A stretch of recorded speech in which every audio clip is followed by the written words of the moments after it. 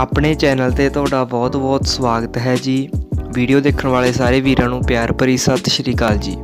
ਸੋ ਅੱਜ ਦੀ ਇਸ ਵੀਡੀਓ ਦੇ ਵਿੱਚ ਅਸੀਂ ਸੇਲ ਲਈ ਟਰੈਕਟਰ ਲੈ ਕੇ ਆਏ ਹਾਂ ਜੀ ਮਹਿੰਦਰਾ 265 DI ਸੋ ਜਿਹੜੇ ਵੀਰ ਆਪਣੇ ਇਸ ਚੈਨਲ ਤੇ ਨਵੇਂ ਆਏ ਨੇ, ਚੈਨਲ ਨੂੰ ਸਬਸਕ੍ਰਾਈਬ ਕਰ ਲਿਓ ਜੀ ਅਤੇ ਨੋਟੀਫਿਕੇਸ਼ਨ ਘੰਟੀ ਪ੍ਰੈਸ ਕਰ ਲਿਓ ਤਾਂ ਜੋ ਚੈਨਲ ਤੇ ਆਉਣ ਵਾਲੀ ਲੇਟੈਸਟ ਵੀਡੀਓ ਦਾ ਨੋਟੀਫਿਕੇਸ਼ਨ ਤੁਹਾਨੂੰ ਮਿਲਦਾ ਰਹੇ ਜੀ।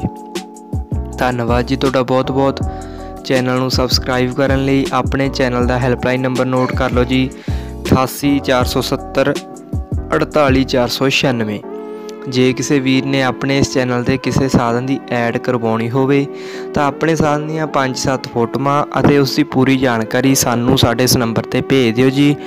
ਅਸੀਂ ਤੁਹਾਡੀ ਐਡ ਆਪਣੇ ਇਸ ਚੈਨਲ ਤੇ ਕਰ ਦੇਵਾਂਗੇ।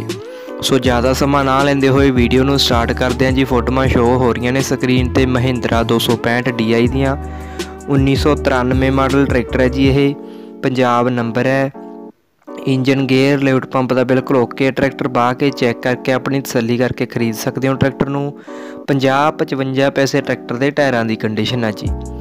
ਬਾਕੀ ਵਧੀਆ ਕੰਡੀਸ਼ਨ ਦੇ ਵਿੱਚ ਟਰੈਕਟਰ ਬਾਹ ਕੇ ਚੈੱਕ ਕਰਕੇ ਖਰੀਦ ਸਕਦੇ ਹੋ।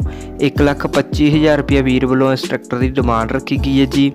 ਫਿਰੋਜ਼ਪੁਰ ਏਰੀਏ ਦੇ ਵਿੱਚ ਟਰੈਕਟਰ ਖੜਾ ਸੇਲ ਲਈ। ਫੋਨ ਨੰਬਰ ਸਕਰੀਨ ਤੇ ਸ਼ੋ ਹੋ ਰਿਹਾ ਮਾਲਕ ਵੀਰ ਦਾ ਜੇ ਕਿਸੇ ਵੀਰ ਨੇ ਟਰੈਕਟਰ ਖਰੀਦਣਾ ਹੋਵੇ, ਮਾਲਕ ਵੀਰ ਨਾਲ ਫੋਨ ਤੇ ਗੱਲਬਾਤ ਕਰਕੇ ਟਰੈਕਟਰ ਨੂੰ ਖਰੀਦ ਸਕਦੇ ਹੋ।